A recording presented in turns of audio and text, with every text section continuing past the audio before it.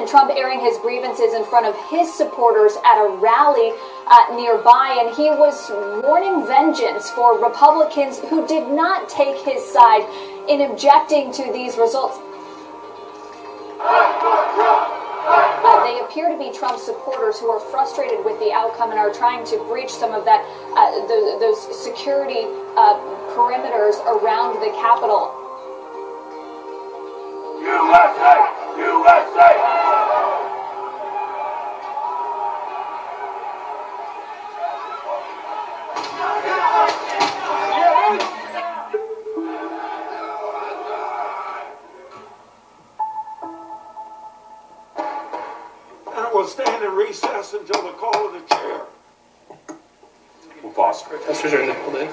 We have visual evidence that, that some protesters have made it inside the Capitol building, around the security, and are gathering around the area where the Senate was in session. Uh, we were just told that there has been tear gas in the rotunda. Members of the legislature were informed that they should don their gas masks. Yes, uh, gas masks. In the meantime, as we've been reporting, the trial has revealed a number of new chilling details about the January 6th attack on the Capitol. And today we have learned even more. For the first time, Senator Patty Murray from Washington State and the highest ranking female Democrat in the Senate is speaking publicly about the terror she experienced that day while hiding just inches from the violent mob who she says were looking to kill. She and I spoke this morning before the defense team presented their case. Senator, I know this is very personal for you because you were close to uh, where the rioters ended up being in the Capitol. Take us back to that day and tell us uh, what happened. Well, I, I came to the Capitol that day, as I do every day, uh, and it was fairly loud outside. I had heard the president um, speak, and I was very aware that this crowd was um, pretty, you know, negative. And so I texted my family and said, I'm on my way. I'll let you know when I get safely to the Capitol. And I did. I texted them, and I said, I'm in my office. I'm safe that turned out to not be true. And I was preparing uh, myself uh, in an office very close to the Senate floor uh, when all of a sudden um, I saw, I could see out the window the, the people who were protesting were no longer protesting. They were breaking through. They were angry. They were yelling. They were loud and I still felt, well, I, am in the Capitol, I'm safe because that's what, what we feel. Um, and it wasn't long before I, I heard explosions. I heard yelling. Uh, and all of a sudden, they were in the hallway outside my door. I was inches away, along with my husband, who was with me at the time. And we were really frightened. Uh, we we um, were hearing the announcements to stay locked down. Uh, we heard loud explosions. My husband yelled at me to get down. We were lying on the floor. And uh, all of a sudden, they were in the hall. They were yelling. They were yelling that they had breached the castle. They were yelling, kill the infidels. And we heard somebody saying, We saw them. They're in one of these rooms. And they were pounding on our door and trying to open it and my husband sat with his foot against the door, praying that it would not break in. I was not safe. From the Capitol. The heartbreaking day, and it needs to stop, and the president needs to be the first to help make it stop. What the hell was uh, law enforcement on Capitol Hill thinking uh, by not having uh, secured the Capitol today. We are hours into a siege on the Capitol building of the United States of America, and we have not seen the President of the United States. Look, I can think of no greater failure by a commander in chief than to allow this kind of disturbance to continue and not stop it. An explosive device has been located at the headquarters of the Republican National Committee. That explosive device was real, was detonated by a bomb squad, and harmed no one. This has really been pouring gasoline on a fire, and we need to uh, push back on this, not only on the rhetoric, but also on those extremist groups that are capitalizing on it. I call on this mob to pull back and allow the work of democracy to go forward. I call on President Trump to go on national television now to fulfill his oath and defend the Constitution.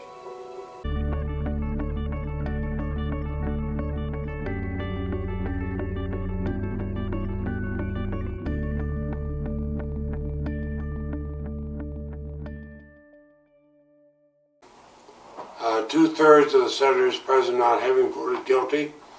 The Senate judges that the respondent, Donald John Trump, former President of the United States, is not guilty as charged in the article of impeachment. There's no question, none, that President Trump is practically and morally responsible for provoking the events of the day. No question about it. The people who stormed this building believed they were acting on the wishes and instructions of their president. But in this case, the question is moot because former President Trump, Trump is constitutionally not eligible for conviction. I believe the best constitutional reading shows that Article 2, Section 4 exhausts the set of persons who can legitimately be impeached, tried, or convicted. It's the president, it's the vice president, and civil officer. We now go to our final guest tonight, Senate Majority Leader Mitch McConnell. Hello, Tucker. Now, Senator McConnell, why did you vote to acquit Donald Trump? And while you talk, I'm going to have a look on my face like a baby seeing his first balloon. Because everyone knows you cannot impeach a former president. That's why we should have impeached him before, back when I said we couldn't. Well, that logic pretzels out, but what do you really think of Trump? I think he's guilty as hell. And the worst person I ever met, and I hope every city, county, and state locks his ass up. Wow. So what's next? I don't know about my colleagues, but I plan to reach my hand across the aisle and then yank it back and slide it across my hair and say, too slow. That's beautiful. Uh, thanks for coming, Senator. We will be back. Hey all, Glenn Kirshner here. So, the Senate voted to acquit Donald Trump today, found him not guilty, even though he incited an insurrection. He launched his angry mob on the U.S. Capitol. He told them to go down there and fight, fight, fight, and stop what was going on in that building, certifying Joe Biden's election win. He told them to get down there and stop it, and they did with deadly consequences. Everyone is in agreement. Donald Trump did that. Let's turn to Mitch McConnell because did you see his speech? After he voted not guilty, Mitch McConnell stood in front of the cameras massaging his own guilty conscience. And it was ugly. Mitch McConnell said Donald Trump did this. He launched this insurrection. People died. He had no right. He said Donald Trump should be prosecuted. But Mitch McConnell said, I'm going to vote not guilty because I don't think we can have an impeachment trial in the Senate if the president has left office. So he took the jurisdictional out. That was how he weaseled out of voting guilty. Remember, Mitch McConnell was the one who said, I will not start the impeachment trial in the Senate until after Donald Trump leaves office. And then Mitch McConnell says, because Donald Trump had already left office, by the time we got around to the Senate trial, gosh, I'd love to vote guilty, but I just can't because he's not in office anymore. This is what Mitch McConnell did in effect. Let's assume Donald Trump was wanted for a bank robbery. And let's assume Mitch McConnell took Donald Trump and hid him out in his basement. Now, there's this thing called the statute of limitations. If you're not familiar with it, it just means that you have to bring somebody to trial, you have to prosecute them within five years of the date they committed the crime. So when five years and one day passes, you can't prosecute the, the bank robber because the clock has run out. The time has expired. The statute of limitations expires and it prohibits a prosecution. This is just like Mitch McConnell taking Donald Trump, hiding him out in his basement for five years and one day, and then offering him up and saying, oh, it would be great if he could be prosecuted for the bank robbery, but the statute of limitations has expired. The clock has run out. That's what Mitch McConnell did. He orchestrated this injustice. Make no mistake about it. This injustice was a Mitch McConnell production. Just as Mitch McConnell proudly declares himself the grim reaper of legislation, where all bills passed by the House of Representatives go to die in Mitch McConnell's legislative graveyard, and I'm the grim reaper. Well, Mitch McConnell is also the grim reaper of justice. Mitch McConnell is where political justice goes to die. And today, the political process failed the American people. It failed our democracy badly. How should the nation respond to an ex president who has incited an insurrection, brought our democracy to the brink of destruction, and left so much pain and suffering in his wake?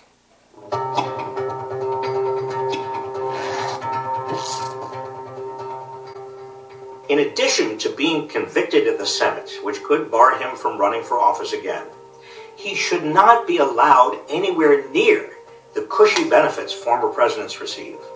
These benefits were created under the former President's Act of 1958, which was drawn up after Harry Truman told the House Majority Leader that he was going broke. The benefits in the former President's Act now include a yearly pension of over $200,000 an annual $1 million travel budget, an annual $500,000 travel budget for spouses, an office appropriately furnished and equipped, and staff to operate that office for the rest of the former president's life.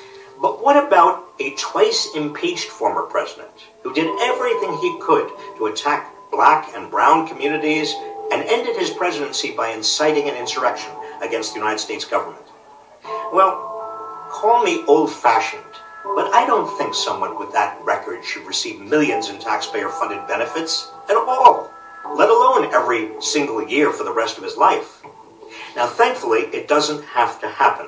A simple majority in Congress can pass a law barring this ex president from the normal perks afforded to former presidents. For the sake of the country, Congress must do so. He should also be barred from receiving national security briefings now that he's left office. There's no reason that someone this dangerous should be privy to the highest levels of intelligence as a private citizen, especially given his looming legal and financial entanglements with foreign entities. He was already a national security risk in office. As a private citizen, there is no telling what he would do with classified information. Now, fortunately, it doesn't take an act of Congress to cut off access to briefings. It's up to Joe Biden and Joe Biden alone Biden has the power to prevent his predecessor from receiving any and all national security briefings. For the sake of America and the world, he must do so, regardless of how the impeachment trial in the Senate ends. One thing is clear someone who has disgraced the office of the president so maliciously should not reap its amenities for the rest of his life. No cushy benefits, no national security briefings, no perks for the worst president in history.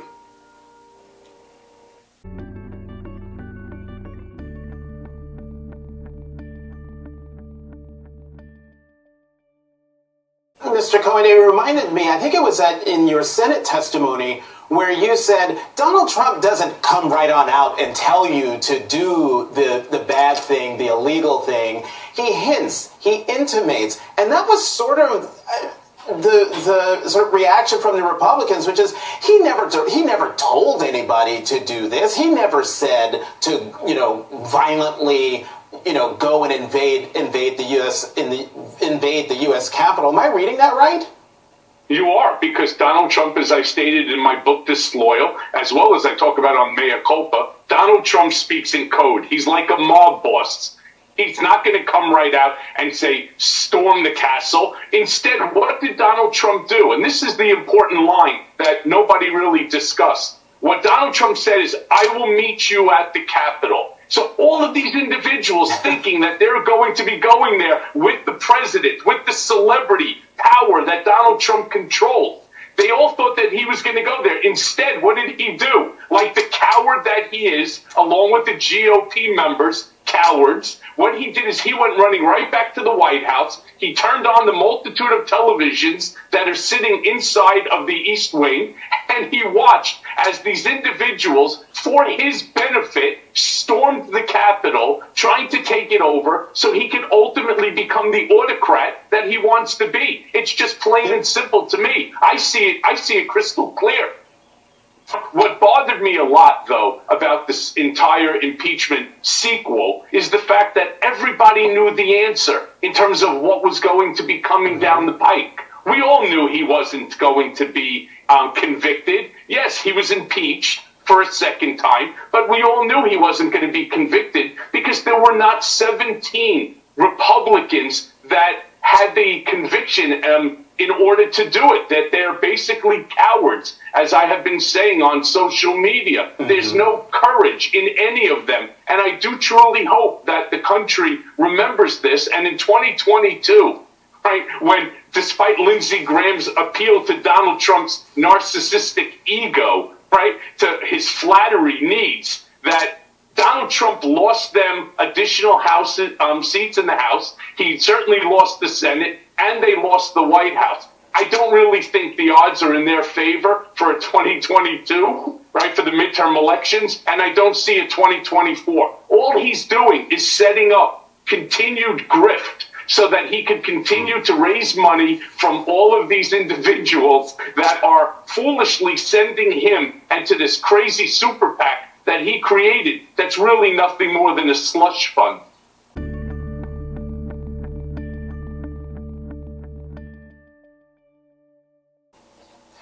Mr. Cohen, you know, you have been very upfront um, and in, in your book, in your congressional testimony, about how you did dirty deeds for Donald Trump. You were loyal to Donald Trump. You did whatever he wanted. And then you found out that the loyalty didn't go two ways, it was a one way street. And you liberated yourself. And now you're here on my show and on other shows um, speaking loudly about what Donald Trump did and what he's like. My question to you is this time yesterday, we thought we were barreling down the road to a Senate impeachment trial with witnesses. And I kept thinking, what would it take to get Vice President Mike Pence to testify, to be a witness in the Senate impeachment trial? We're not going to have that, but there are Republicans who have been uh, continue to be and will be loyal to Donald Trump. And what would be your advice to the Mike Pences, uh, Lindsey Grahams, and others to liberate themselves from the hold of Donald Trump?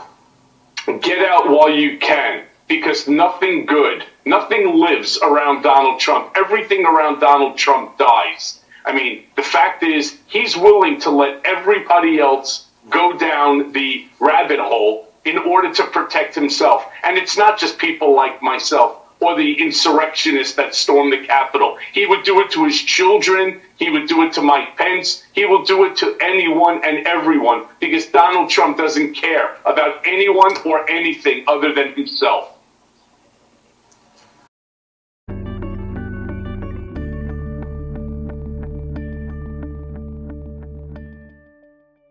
Let's talk about this mask thing because now the CDC says, I mean, I think I've got this right.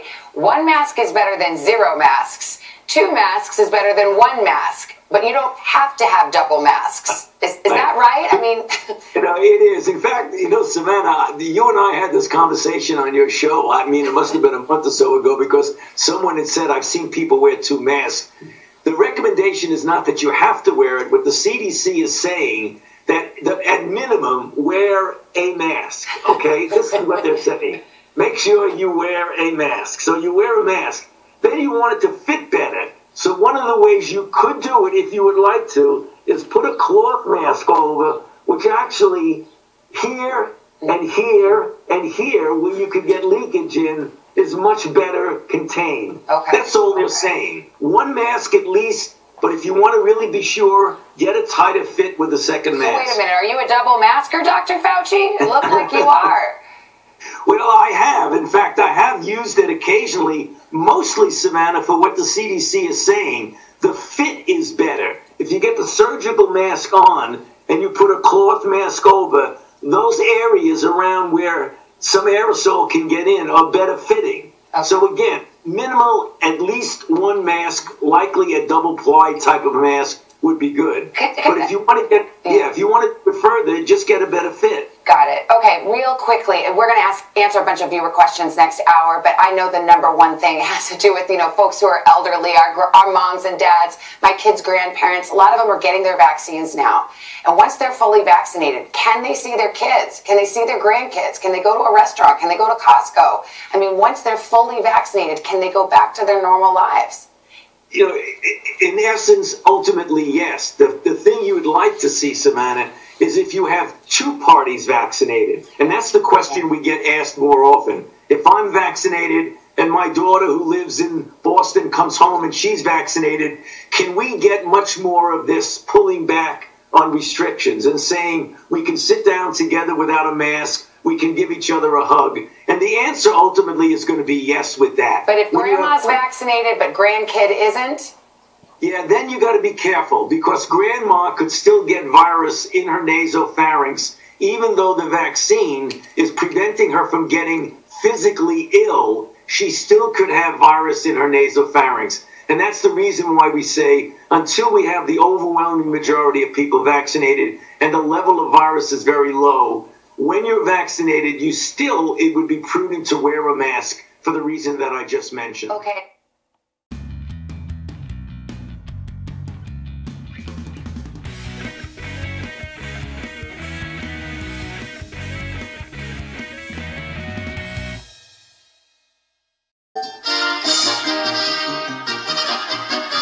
And that's all, folks.